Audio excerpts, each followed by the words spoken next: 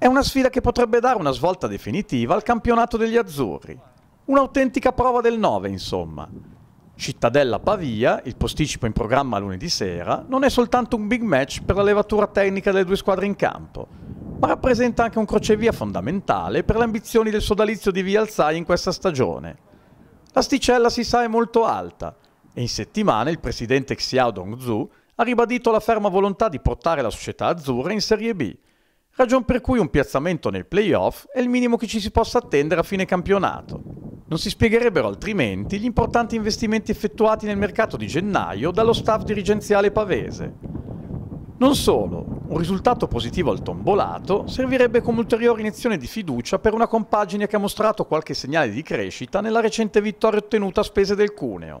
Il tecnico Brini dovrebbe proporre nell'11 titolare Facchin fra i pali, la linea difensiva 4 composta da Ghiringhelli, Siniscalchi in ballottaggio fino all'ultimo con Malomo, Dermacu e Foglio.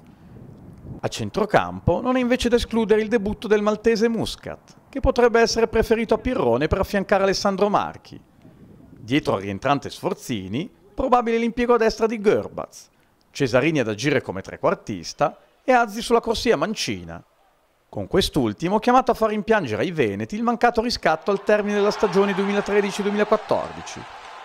Il Cittadella è in stato di grazia dall'inizio del campionato e in casa ha costruito un vero e proprio fortino quasi sempre invalicabile per ogni squadra avversaria e una vittoria sugli azzurri renderebbe quasi sul velluto la corsa per la promozione in Serie B ai Veneti. Mister Venturato adotta un 3-5-2 che spesso però trasforma in un più offensivo 4-3-3 i padroni di casa dovranno però fare i conti con alcune assenze pesanti, specie in difesa, dove non saranno della sfida gli infortunati Donazzane e Pascali, mentre a centrocampo mancheranno Bob, che all'andata segnò la prima rete dell'incontro, e Paolo Lucci. Gli ingredienti per assistere ad un grande spettacolo sul campo ci sono tutti. È sempre una gara stimolante contro una squadra che sta facendo cose importanti, perciò è un confronto dove noi dobbiamo sicuramente tirare fuori il massimo e credo che questa sia eh, una consapevolezza che i ragazzi hanno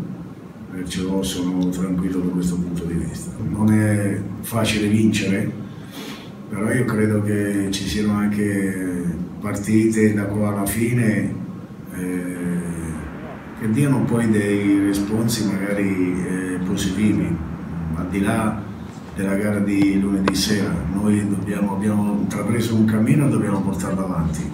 La continuità di risultati è fondamentale in questo campionato, perciò è chiaro che fare risultato pieno in una gara come questa creerebbe entusiasmo, creerebbe anche consapevolezza ancora di più nei propri mezzi.